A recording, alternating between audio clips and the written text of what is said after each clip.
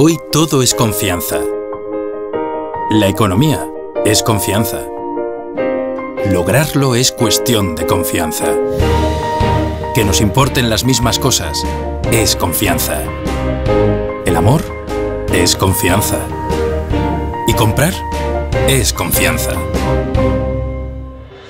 Ofrecer productos de nuestra tierra es confianza.